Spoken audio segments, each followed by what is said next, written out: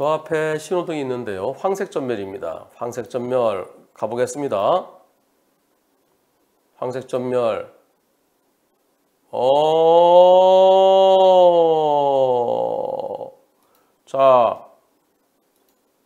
저기 차가 들어오네요. 여기 요 차랑 사고 나는 겁니다. 저 차랑 네. 그런데 사이로 지나가려다가 꽝. 제가 이분한테 저 차 언제 보셨나요? 이때는 못 보셨고요. 네, 좀 지나서 이때쯤? 이때쯤 보겠습니다. 언제 보셨나요? 캡처에 올려주세요 했더니 아, 이때 보셨대요, 이때. 이게 본인이 캡처해서 올려주신 거예요. 그러면 조금 전에 보신 이 상황, 요보다 조금 전이죠. 여기서 아이고 요보다 조금 전 이때쯤 보셨대요. 음, 여기까지 거리가 얼마나 될까요? 저 화살표가 5m니까 여기까지 7m, 여기 한 20m는 될까요? 될 것 같은데요. 그리고 또 횡단보도가 이게 여기서부터 여기까지 10m 되겠죠? 또 여기서 횡단보도 앞에서 여기서 저기까지도 10m 넘어 보이죠? 그럼 한 4, 50m 될까요? 요 상황에서요. 요 상황에서 아, 실측을 해봐야 되겠는데 한 4, 50m 저는 한 4, 50m 정도 될 것 같은데 아, 이 불박차 운전자분은 30m라고 그러십니다. 그런데 요 차가요.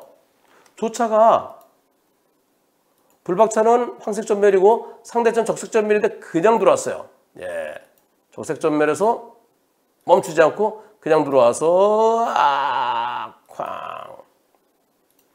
어떻습니까? 이번 사고 과실 비열. 상대차가 불박차는 황색 전멸, 상대차는 적색 전멸. 적색 전멸 일시 정지하지 않고 들어왔어요. 자, 투표해 보겠습니다. 이거 제한 속도 50입니다. 또 상대차 신호가 적색 전멸이라는 거 평소에 알고 계셨나요? 그랬더니 아, 초행길라서 전 그건 몰랐습니다라고 얘기하십니다. 적색 전멸에서 일시 정지하지 않은 검은 차가 더 잘못이다. 황색 전멸 불박차가 더 잘못이다. 투표 시작. 자, 적색 전멸에 일시정지 안 한 검은 차가 더 잘못이다가 14%, 황색 전멸에 불박차가 더 잘못이라는 의견이 86%입니다. 황색 전멸 신호등은요, 신호등 없는 교차로랑 똑같아요. 서행해야 돼요.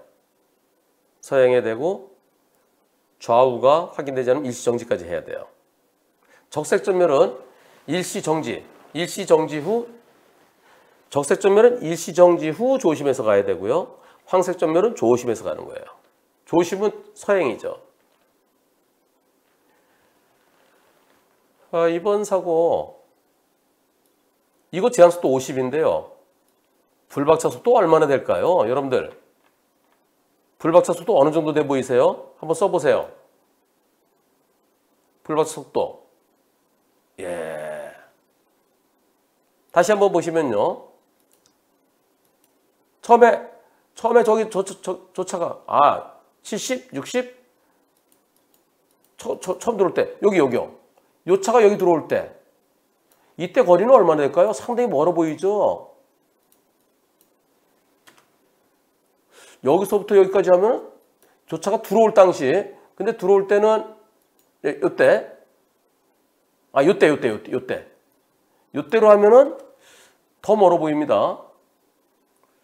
아, 물론 요차 때문에 안 보일 수도 있겠죠. 불박차 속도가 제한속도 50도로에서 90입니다. 불박차 속도 90이에요. 그렇다면 이번 사고 어떻습니까? 예, 불박차 90. 불박차, 소, 불박차 속도 90이다. 50에서 적색 전멸 검은 차가 더 잘못이다. 황색 전멸 불박차 더 잘못이다. 황색 전멸 불박차 100% 잘못이다. 다시 한번 투표해 보겠습니다. 투표 시작. 적색 전멸 검은 차가 더 잘못이라는 의견이 두 분 계십니다. 4%. 황색 전멸 불박차 100% 잘못이라는 의견이 70% 있습니다. 황색 전멸 불박차가 더 잘못이라는 의견이 26% 있습니다. 이번에는 아 이번 사고요. 불박차가 제한속도 50만 지켰어도 50만 지켰어도 피할 수 있죠. 51 대 한 26m 멈출 수 있어요. 그러면 여기쯤 멈출 수 있었어요. 멈추려 맘만 먹었으면 이번에는 또 다른 영상을 보시겠습니다. 자, 이곳은요 적색전멸이에요. 적색전멸이에요. 그죠? 예. 아까 검은 차에 블랙 봤습니다. 아. 자, 여기서?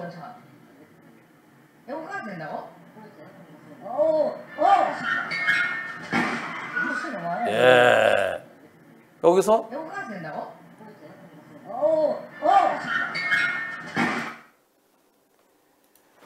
일시정지라는 것은 일시정지라는 것은 네 바퀴가 잠깐만 순간적으로 바닥에 멈추면 됩니다. 일시정지를 왜 해야 될까요? 좌우를 살피라는 거죠.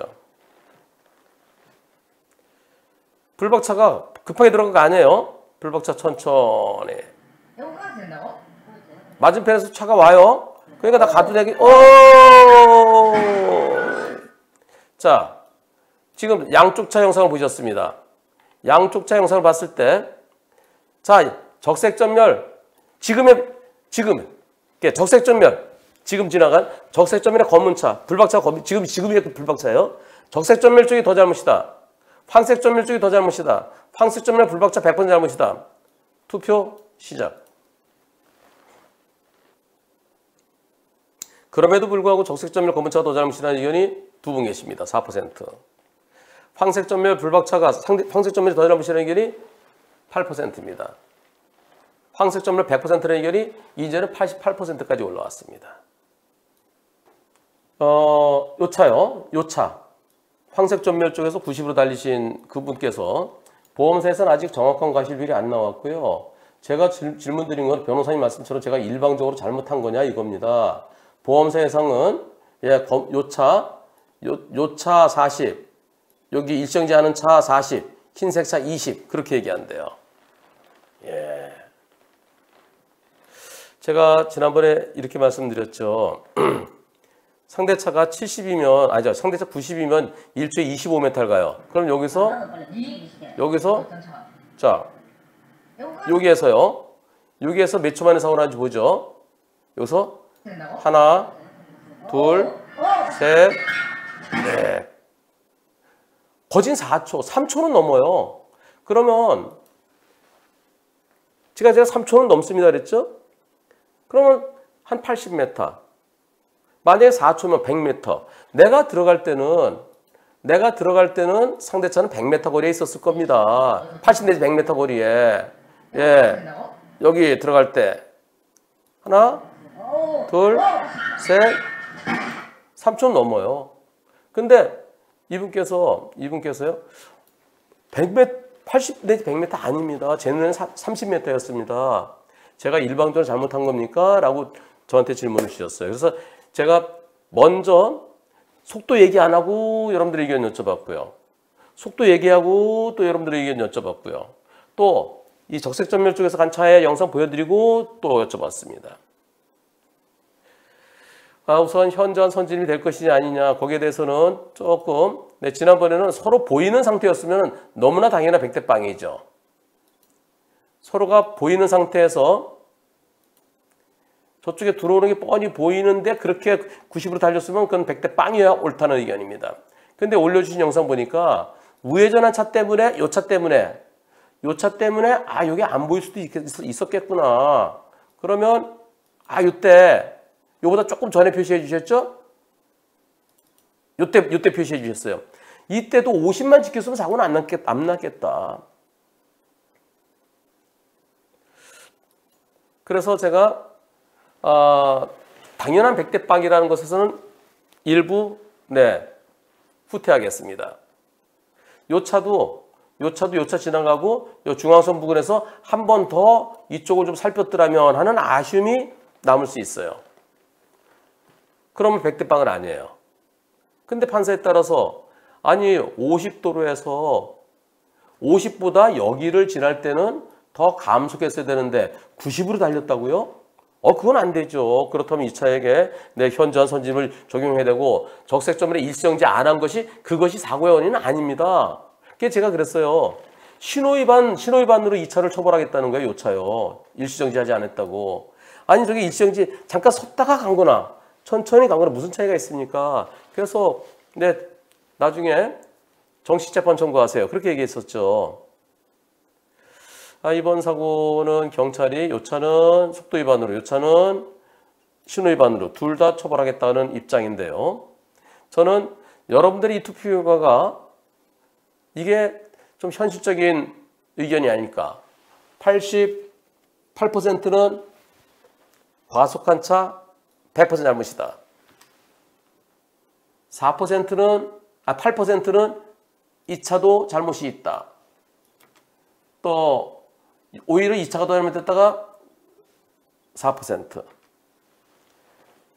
과연 이번 사고 몇 대 몇으로 나올까요? 100대 빵 가능성도 있고요.